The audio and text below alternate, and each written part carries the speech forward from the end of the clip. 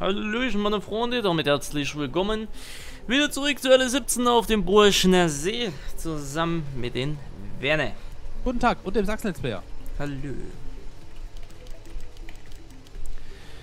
So, äh, die letzte Gräbe hier mit reinnehmen. Na gut, was ist letzte? 3, 4, 5, 6, 7. Ja, haben wir doch ein paar Stückchen.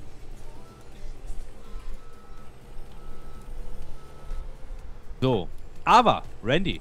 Ich wollte mich gerade schon bedanken, dass du nicht angefangen hast zu singen. Aber gut, nee, ich bin nicht der Singer, aber Ah. trotzdem äh, alles gut zum Geburtstag. Danke, danke. Ja, bitteschön. Normalerweise ich hoffe, würde ich jetzt sagen dir auch, aber du bist schon durch, meines Erachtens nach, oder? Ja, ich, hab, ich war im April schon äh, Ja, das, das Glückskind. Ähm, ja, alle mal ganz, ganz, ganz kräftig Happy Birthday äh, in die Kommentare reinschreiben. Das muss einfach sein. ja, ja. 24, bevor einer fragt. Und ja, ich weiß, dass ich aussehe. 24. Ja, ich weiß, dass ich aussehe wie Ende 30. Das war das jahrelange Rauchen in der Jugend. Ja, Deswegen macht Die- das nicht. die Jugendjahre, die setzen dem Körper schwer zu, du. Ja, ja. Egal ob es jetzt äh, Tabak oder Alkohol oder ja. Ich sag mal, immer, der Vorteil ist, ich werde beim Einkaufen nicht angequatscht, außer zu Silvester. Ja, Silvester, da glaubt wahrscheinlich die Verkäuferin, du willst äh, irgendwas in die Luft sprengen, oder? Ja, ja, irgendwie Ja. schon, aber da wäre ich auch noch jedes Jahr danach gefragt, ne, sicher, aber sicherheitshalber. Aber so jetzt im Allgemeinen.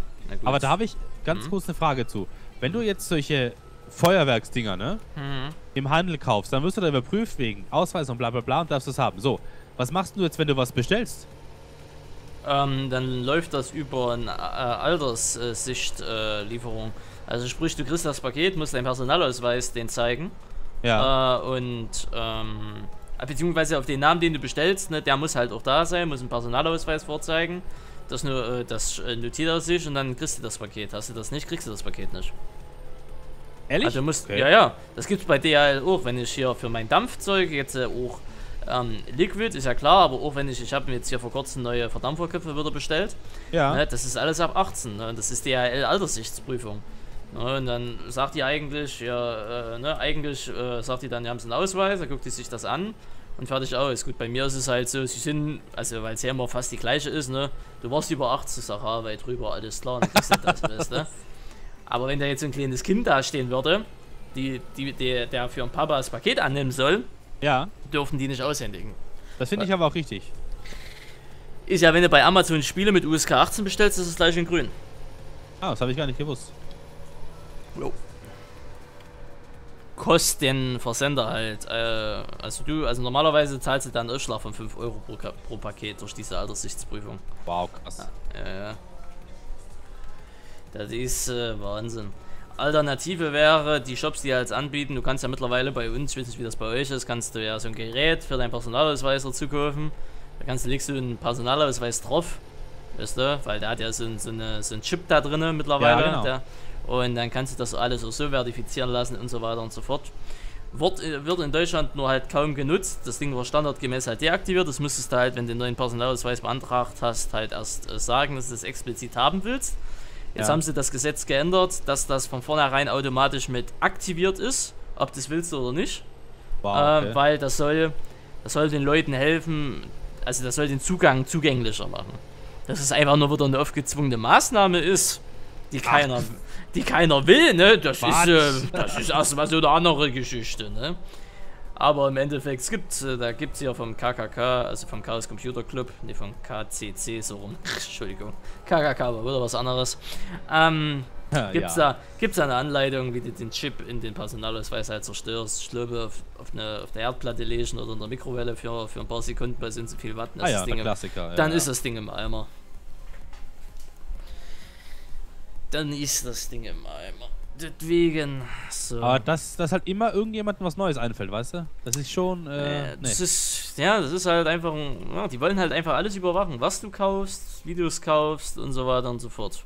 Mehr Ja. steckt da ja nicht dahinter. Ne? Das ist Nee, ja klar, eigen- das ist ja das. ist eigentlich nur Geldflussüberwachung, nicht mehr, nicht mehr, nicht weniger. Ich meine, gut, ich darf mich da eigentlich gar nicht drüber beschweren, weil ich ja auch so ein Mensch bin, der sehr viel mit EC bezahlt, weil ich einfach Ja. kein Bargeld bei mir trage, was ja an sich auch jetzt nicht das Gute ist, weil dadurch ist ja auch alles nachvollziehbar und so weiter und so fort. Aber ich hab's halt dann lieber so, weil, keine Ahnung, Bargeld, du verlierst das Portemonnaie. Ich habe Portemonnaie auch immer nur das Wichtigste drin. Weißt du, und das ist, wenn ich irgendwo hingehe, wo ich was bezahlen muss, nehme ich die EC-Karte mit. Den Rest Ja. nicht. Wenn ich nur ein Perso brauche, nehme ich nur ein Perso mit. Weil wenn mir das Ding halt mal abhanden kommt, das ist, äh, ich weiß nicht, ob es dir schon mal passiert ist. Ja, das ist ja, ja, das ist ja, ne, na, Müll hoch 3. Weißt du, und deswegen schleppe ich halt wirklich immer nur das mit, was ich halt wirklich brauche. Gut, dass du theoretisch einen Personalausweis immer bei dir zu führen hast, sei jetzt mal eine andere Geschichte. Aber dann wirst du schon mal kontrolliert. Und wenn du kontrolliert wirst, hast du halt genau. Pech gehabt. Der Zeit seit die 15 Euro Strafe und fertig aus. So, ähm, können wir vorspulen, dass es wieder heller wird? Äh, Moment, äh, lass mich kurz den Motor ausmachen, dann können wir das gerne, gerne machen. Mhm, Motor ist aus, los geht's. alles klar. Hier. Ja, So, wir müssen das erstmal. Jawohl, warte. Wir machen das ein bisschen gemischt. Oh. So. Machen das noch ein bisschen gemischt, dass noch die BGA ein bisschen durch. Achso, halt, wir müssen eh auf vermachte. Hörte der Licht, sehr schön. So. Aber ich lasse es kurz noch eine Stunde durchrattern, Ja, mach das dass, mal. dass die BGA noch ein bisschen was zu tun hat.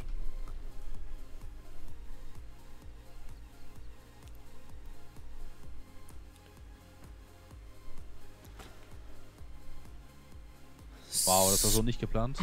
So, und dann. Habe ich denn jetzt gemacht? Das kann ich dir nicht sagen. Es ist 9 Uhr. So, bitte.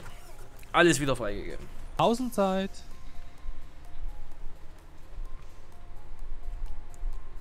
Okay, okay. Mir ist ähm, vor uns, also für die Zuschauer am Aufnahmetag, ich hatte ja vor uns noch ein bisschen einmal gezockt, weißt du? Ah, Es ich war- wollte, ich hatte aber keine Zeit. Shit. Ja. Du hattest ja einen kleinen Zwischenfall. Ich hatte keinen Zwischenfall, das ist richtig. Hm. Können wir Ah, morgen drüber sprechen. alles klar. Aha, und es war aber heute echt nicht viel los, aber halt die Cops hatten, also es kamen neue Cops dazu mit Ausbildung. Okay. Und ähm, ich hatte, ich war halt als Stift drin, weil halt echt nichts, nichts Weltbewegendes los war, dass man jetzt sagen Ja. könnte, man switcht. Und hab mir so gedacht, ach weißt du was, ne? Kaufst dir einfach diesen, also erstmal hatte ich mir dann einen LKW gekauft, den großen, hab eine Fuhre Kupfer gemacht. Hat eine Habt Stunde, das, wo hast du das ganze Geld her? ich krieg als Cop in den Rang, den ich hab, 4400 oder, 4, äh, oder Ah, 15 ist das Minuten. Konto das gleiche? Ja, ja. Oh, nee. Das ist äh, die UID ist die gleiche. Ähm, und hab dann halt den großen LKW halt gekauft, hab eine Fuhre Kupfer gemacht, hab dann glaube ich eine Stunde dafür gebraucht, hab 36.000 rausgekriegt, hab den LKW dann wieder verkauft, weil ich mir dachte, nö, auf sowas habe ich dann auch keinen Bock. Und äh, hab dann halt äh, gesehen, dass die das Pad halt mit den ganzen Rekruten dann halt äh, zum, zur, zur Ausbildungsstätte gefahren ist, weißt du? Also Ja. Schießtraining, Fahrtraining. Hab ich mir gedacht, weißt du was, kaufst du dir diesen Newswagen, kaufst dir eine Kamera und ein Mikrofon und ballerst halt einfach mal hinterher. Also du ist das alte Fluchgeländeplatz dort, was bei der Rennstrecke dort ist, weißt du? Ja, kenne ich, kenne ich. Und dort drinnen kannst du ja noch rein und in den drin ist ja noch ein Headquarter, ne, also das Ausbildungszentrum für den.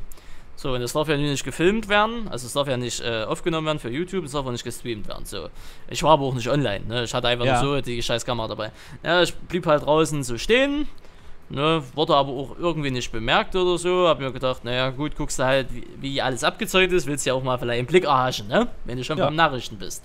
So, hintenrum war eine Mauer, da ging es nicht weiter, aber linksrum an der Küste war halt nichts abgezäunt. Oder beziehungsweise es war die Umzäunung von dem Flugfeld und dann war ja noch eine extra Umzäunung für das Herzquader, ne? Ja, Da habe ich mir gedacht, der wird schon passen. Ne? Ich mach dann halt hinten an, äh, mach dann halt so lang ne? und sehe dann, wie der Zaun dort endet. Ich denke mir, ja gut, vielleicht ist die Umzäunung von diesem Hetzquader halt weiter inne. Da baller halt so durch und auf einmal komme ich auf, äh, auf dieser äh, Teststrecke raus, wo die mit ihren Autos äh, halt äh, ihren Parcours absolvierten. ja. Da stand ich da mit dem Newswagen. Es hat nicht lange gedauert, da kam Blaulicht. Ja, Ja, und Patsch stand da vor mir und frug denn so, was ich zur Hölle hier mache. ja. Ich sage Staatsnachrichten. Ich soll hier drehen. Ja, aber nicht auf, äh, auf abgesperrtem Gelände. Ich sage, der Zaun fehlt hier. Da das ist einfach kein Zaun. Ja, aber der Zaun ist doch da vorne. Ich sage, ja. Ich bin aber links am Meer vorbeigefahren und da war die Umzäunung vom Flugfeld und die Umzäunung vom Headquarter fehlt aber auf der kompletten Seite. Ja.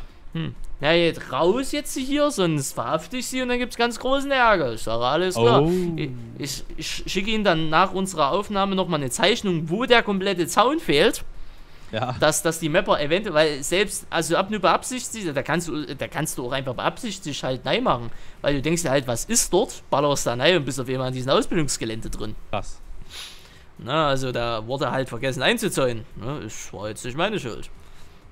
Aber das hat eh noch Konsequenzen, weil Staatsnachrichten schickt man nicht weg, Das ist richtig. weil die kommen vom Staat. Naja, ansonsten dann bin ich halt wieder zurück. Ach, genau, dann hab noch so mit dem Medic gequatscht, weil er hat auch nichts zu tun. Dann noch Cops, die hatten halt auch nichts zu tun. Ja, Ach, Gott. dann, dann war auch schon Feierabend. So.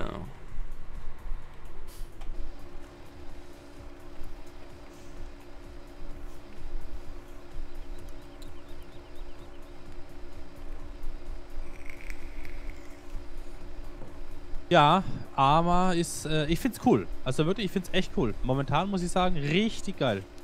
Ja, das war jetzt die letzten vier Tage, war aus irgendeinem Grund wieder so eine Spielerflaute, keine Ahnung warum.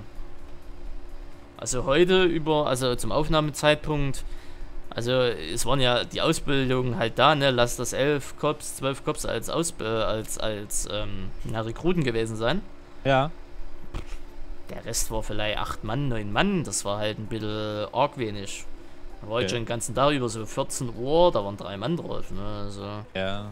Das war irgendwie, weiß ich nicht. Aber wir hatten zum Beispiel letzte Woche Dienstag, ne, da, da, da waren fast sechs Mann drauf.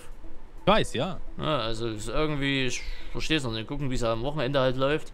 Das ist, die Aufteilung ist noch ein bisschen komisch, aber ansonsten, ich denke mal, ja, wird schon Geduld haben, wenn man überlegt, Ja, das ja. Surfer ist jetzt eine Woche online. Und die Halbzeit ist ja auch vorbei, davon abgesehen. Weil damals, wo das ja losging, konntest du ja wirklich ein altes Server aufmachen und, egal welcher Server das war, die Buden waren voll. Ja, das ist richtig.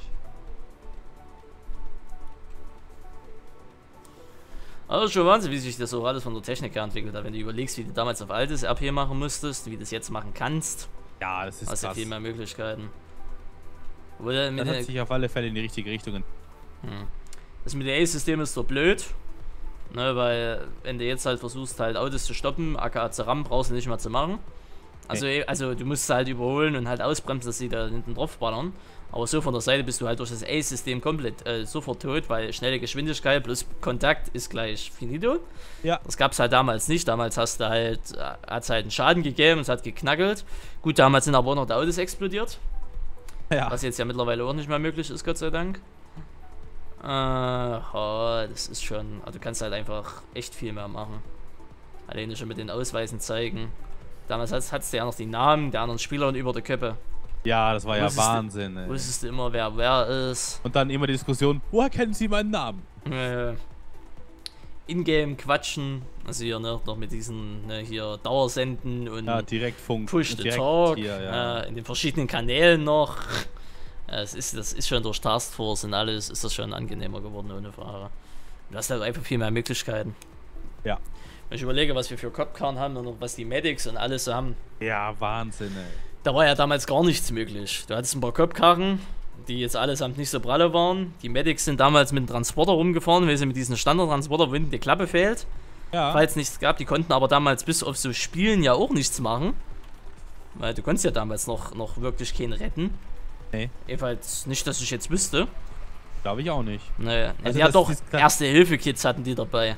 Ja. Na, weißt du, diese fremden Erste-Hilfe-Dinger dann. Da hast du eine Spritze gekriegt, dann warst du wieder heile. Das war's. Du konntest ja damals auch nicht verrecken. Du warst halt schwer verletzt oder so, das hast du dann halt gemerkt im Bild und so und am Häscheln, aber du konntest nicht sterben. Ja. Ich weiß noch nicht, ob ich das gut finde auf dem neuen Server. Dass man, wenn man tot ist, sofort und instant und tot. Weißt du? Und Ja, tot auch äh. tot und nicht, nicht wieder zurückholbar, weißt du? Das ist richtig. Ähm, machen Sie mal kurz für eine Minute einen Alleinunterhalter. Mache ich. Ist gar kein Problem. Ich wollte sowieso mal mit allen Leuten hier alleine reden. Wollte ich eigentlich nicht. Auf alle Fälle habe ich jetzt den LKW vollgeballert mit Holz und den bringen wir jetzt zum Sägewerk, zum Zweier-Sägewerk. Äh, oder zum Einser? Weiß ich gar nicht. Auf alle Fälle füllen wir mal das ganze Zeug hier auf. Und da müssen wir gucken, wie weit äh, das Flüssiggas ist, weil hier fehlt im Sägewerk 2 fehlt noch das Flüssiggas. Jetzt sind wir da schon weiter, damit wir parallel produzieren können. Das wäre eigentlich richtig effizient, heißt das Ganze, effizient.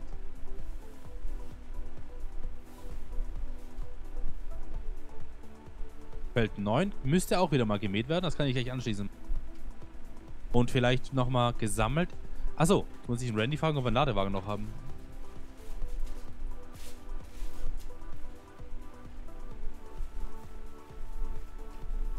Tag hier rein.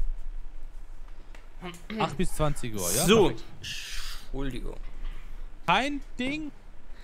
Beim- King. Was? Beim Erzählen habe ich mir gedacht, rückst du die Trinkenflasche immer weiter zusammen und weiter und weiter und weiter und weiter, bis es halt drüber rausschwabbert.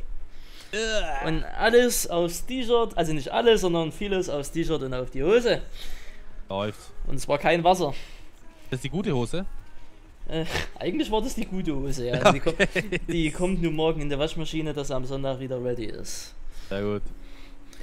Ah, so eine Scheiße, naja. Ich So. weiß gar nicht, wer hat denn anmoderiert von uns zwei Hübschen? Ich, ähm, ich bedanke mich auch fürs Zuschauen. Wir sehen uns im nächsten Part wieder. Däumchen da lassen nicht vergessen und äh, beim Werner natürlich auch vorbeischauen. Ne? Bis dann, auch darin. Tschüss. Tschüss. tschüss.